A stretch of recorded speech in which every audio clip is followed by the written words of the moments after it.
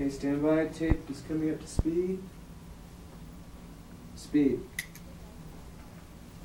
David, I was so delighted when I found out that we were going to have a chance to talk with you here at Lake Tahoe about your movie Things Change because we've never met before. And yet I have known about your work for a long time and admired it. And uh, so it's just neat to be able to sit here and talk Thank you very much. It was very good of you to come all the way out here, too. Oh, well, my pleasure.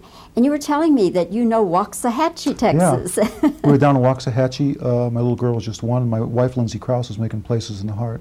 She played uh, uh, Sally Field's sister in that movie, and I just fell in love with it. And as I was saying, I got some uh, very good friends who live uh, to the east in Marietta. We've been over there a couple of times hanging out and hunting and so forth. And I, I just adore Texas. Other than Vermont, I think it's, if I were going to move to the country, uh, that's where I would live.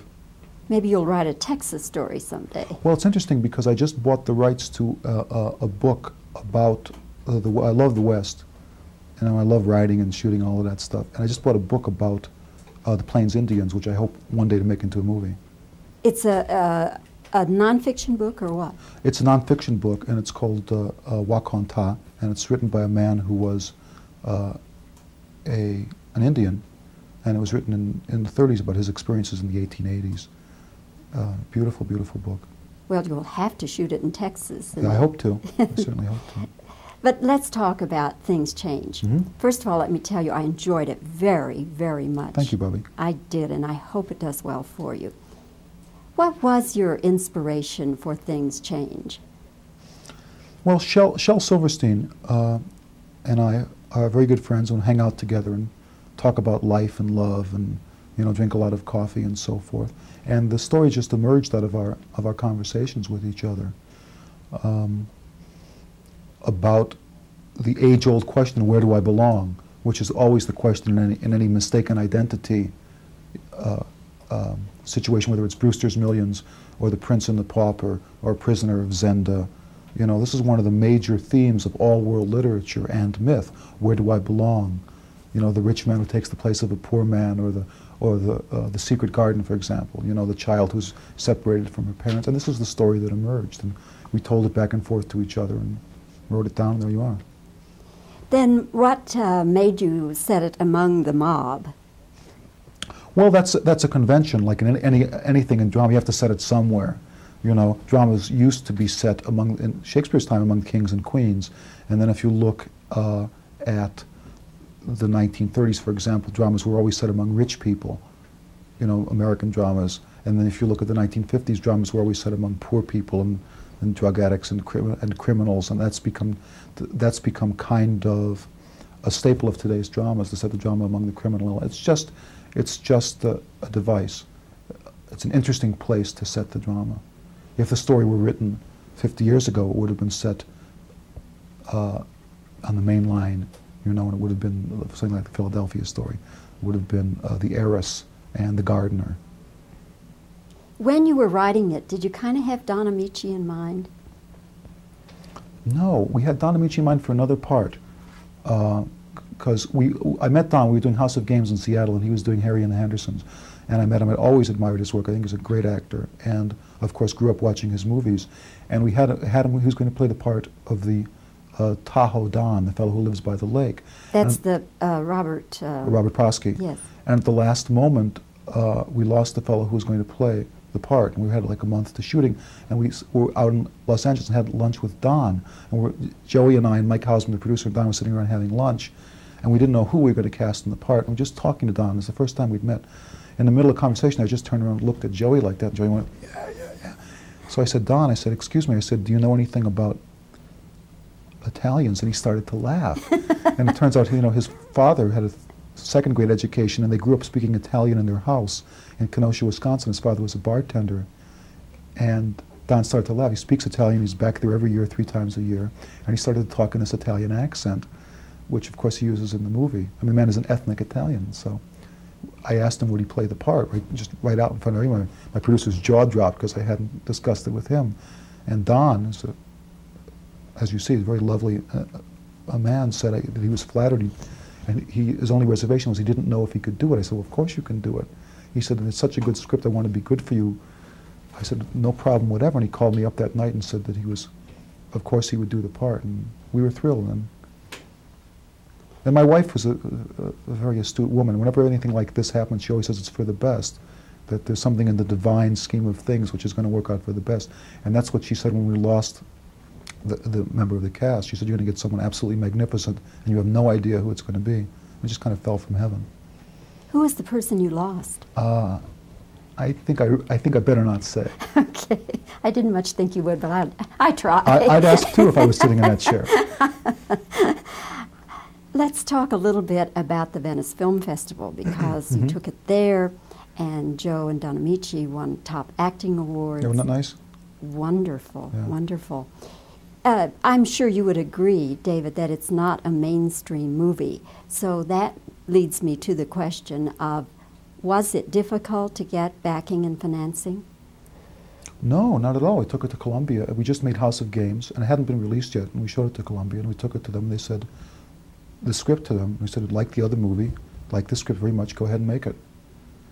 Uh, I'm very fortunate. My producer, Mike Hausman, who's the greatest, you know, and his reputation, which is absolutely true, is that the movie will be made absolutely on time and on budget or under budget, and the script is good. And I proved that I could direct a movie, and so there you are.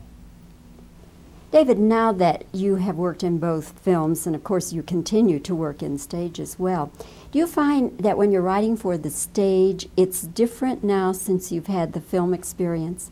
Films have been teaching, I've been writing films for about 10 years, and they've been teaching me a vast amount about how to write for the stage, because the film is all plot, and you better get it right or the audience is going to go to sleep. And I'm trying to apply that all the time in, in my theatrical writing. When you wrote Glengarry, did you think it was your best work because you did win a Pulitzer for it? No, I thought it was terrible. I threw it in the trash can. I, I thought there was a, it didn't work. I did a reading with a bunch of very good actors in New York, and the play didn't work. And I sent the script to Pinter, who I know a little bit, Harold Pinter. I said, Harold, I'm having trouble. What should I do with the script? And he gave it to the National Theater without telling me. And the National Theater called up and said, well, we're producing it in September. Don't change a word. And so I went, well, okay. And- but I, I literally, I, I shelved it. I thought this, it was no good. Why didn't you think it worked? Well, I did this reading with the actors, and it didn't seem to work, and I'd kind of lost confidence in it. I, so you never know. Maybe you had the wrong actors. That's possible. I, I don't know. Maybe we had the wrong breakfast. But I, I find, you know, I've been writing now about 20 years. The, the stuff I think is always masterpieces is invariably no good, you know. And the stuff that I, I think is iffy or obvious or something many times turns out to be, be much better writing. What is your gut instinct about things change? people seem to like it, and I, you know, it's a it's a, a great privilege to be able to make movies because people are giving you a lot of money and a lot of putting a lot of confidence in you. When we made the movie I, and we set out to do it and we did it, I had a magnificent time, and now we'll see. But I, I think you can't fool the people. If if they like it, they'll like it, and if not, not. But and we'll go on and do another one. What was your budget on this? Uh, the my producer asked me not to say because no one would believe it. You mean it, it's it's on the low scale? I can't. Uh, it's it's it's a it's very legitimate budget. Yeah. Yeah. Okay. We don't, we don't like we don't like to waste money. Okay. Well, I've seen some very good films that were two and three million dollar budgets, so I don't equate budget with uh, the final product. Anyway, David, it's a wonderful film, and I do hope that it, it gets good audiences, big audiences, Thank you because I much, think Bobbie. they'll enjoy it when they see it. And again, thanks for this opportunity to talk with you. It's a pleasure meeting you. Thanks. Wonderful. Thank you. Thank you. How.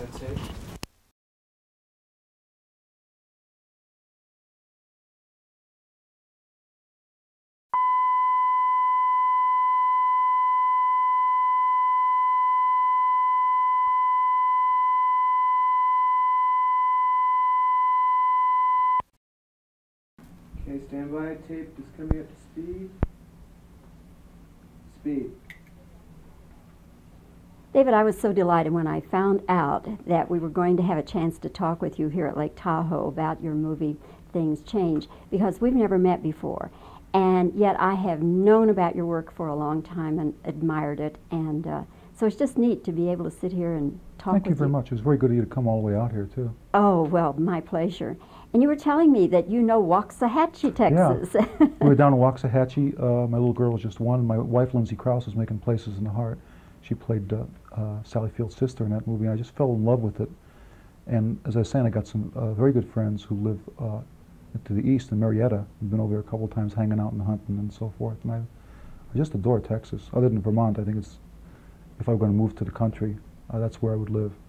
Maybe you'll write a Texas story someday. Well, it's interesting because I just bought the rights to uh, uh, a book about uh, the. I love the West, and I love writing and shooting all of that stuff. And I just bought a book about uh, the Plains Indians, which I hope one day to make into a movie. It's a, a, a nonfiction book or what? It's a nonfiction book, and it's called uh, uh, Wah'Kon-Tah, and it's written by a man who was uh, a an Indian, and it was written in, in the 30s about his experiences in the 1880s. Uh, beautiful, beautiful book. Well, you'll have to shoot it in Texas. Yeah, I hope to. I certainly hope to. But let's talk about Things Change. Mhm. First of all, let me tell you, I enjoyed it very, very much. Thank you, Bobbie. I did, and I hope it does well for you. What was your inspiration for Things Change? Well, Shel, Shel Silverstein uh, and I are very good friends and hang out together and talk about life and love and you know drink a lot of coffee and so forth. And the story just emerged out of our of our conversations with each other um, about the age-old question, "Where do I belong?" which is always the question in any, in any mistaken identity uh, um, situation, whether it's Brewster's Millions or The Prince and the Pauper or Prisoner of Zenda. You know, this is one of the major themes of all world literature and myth. Where do I belong? You know, the rich man who takes the place of the poor man, or the or the uh, the secret garden, for example. You know, the child who's separated from her parents. And this was the story that emerged, and we told it back and forth to each other and wrote it down. There you are. Then what uh, made you set it among the mob? Well, that's that's a convention. Like in any anything in drama, you have to set it somewhere. You know, dramas used to be set among in Shakespeare's time among kings and queens, and then if you look uh, at the 1930s, for example, dramas were always set among rich people. You know, American dramas, and then if you look at the 1950s, dramas were always set among poor people and, and drug addicts and and criminals, and that's become th- that's become kind of a staple of today's dramas to set the drama among the criminal. It's just it's just a, a device. It's an interesting place to set the drama. If the story were written 50 years ago, it would have been set uh, on the main line, you know, and it would have been something like the Philadelphia story. Would have been uh, the heiress and the gardener. When you were writing it, did you kind of have Don Ameche in mind? No, we had Don Ameche in mind for another part. Because we, I met Don, we were doing House of Games in Seattle, and he was doing Harry and the Hendersons. And I met him, I always admired his work. I think he's a great actor. And, of course, grew up watching his movies. And we had, had him, he was going to play the part of the uh, Tahoe Don, the fellow who lives by the lake. That's And- the uh, Robert. Uh, Robert Prosky. Yes. And at the last moment, uh, we lost the fellow who was going to play the part, and we had like a month to shooting. And we were out in Los Angeles and had lunch with Don. And we're, Joey and I and Mike Hausman, the producer, and Don was sitting around having lunch, and we didn't know who we were going to cast in the part. And we were just talking to Don. It was the first time we'd met. In the middle of the conversation, I just turned around and looked at Joey like that, and Joey went, "Yeah, yeah, yeah." So I said, Don, I said, "Excuse me," I said, "Do you know anything about Italians?" And he started to laugh. and it turns out, you know, his father had a second grade education, and they grew up speaking Italian in their house in Kenosha, Wisconsin. His father was a bartender. And Don started to laugh. He speaks Italian. He's back there every year, three times a year. And he started to talk in this Italian accent, which, of course, he uses in the movie. I mean, the man is an ethnic Italian. So I asked him would he play the part, right, just right out in front of everyone. My producer's jaw dropped because I hadn't discussed it with him. And Don, is a, as you see, is a very lovely uh, a man, said I, that he was flattered. He, and he, his only reservation was he didn't know if he could do it. I said, well, of course you can do it. He said, it's such a good script, I want to be good for you. I said, no problem, whatever. And he called me up that night and said that he was, of course he would do the part. And we were thrilled. And, and my wife was a, a, very astute woman. Whenever anything like this happens, she always says it's for the best, that there's something in the divine scheme of things which is going to work out for the best. And that's what she said when we lost the, the member of the cast. She said, you're going to get someone absolutely magnificent, and you have no idea who it's going to be. It just kind of fell from heaven. Who was the person you lost? Uh, I think I, I think I better not say. Okay. I didn't much think you would, but I, I tried. I, I'd ask too if I was sitting in that chair. Let's talk a little bit about the Venice Film Festival because you Mhm. took it there, and Joe and Don Ameche won top acting awards. Isn't that nice? Wonderful, Yeah. wonderful. Uh, I'm sure you would agree, David, that it's not a mainstream movie. So that leads me to the question of was it difficult to get backing and financing? No, not at all. We took it to Columbia. We just made House of Games, and it hadn't been released yet. And we showed it to Columbia, and we took it to them. They said the script to them. We said, like the other movie, like this script very much. Go ahead and make it. Uh, I'm very fortunate in my producer, Mike Hausman, who's the greatest. You know, his reputation, which is absolutely true, is that the movie will be made absolutely on time and on budget or under budget, and the script is good. And I proved that I could direct the movie, and so there you are. David, now that you have worked in both films, and of course you continue to work in stage as well, do you find that when you're writing for the stage, it's different now since you've had the film experience? Films have been teaching. I've been writing films for about ten years, and they've been teaching me a vast amount about how to write for the stage, because the film is all plot, and you better get it right, or the audience is going to go to sleep. And I'm trying to apply that all the time in in my theatrical writing. When you wrote Glengarry, did you think it was your best work because you did win a Pulitzer for it? No, I thought it was terrible. I threw it in the trash can. I I thought that was it didn't work. I did a reading with a bunch of very good actors in New York, and the play didn't work. And I sent the script to Pinter, who I know a little bit, Harold Pinter. I said, Harold, I'm having trouble. What should I do with the script?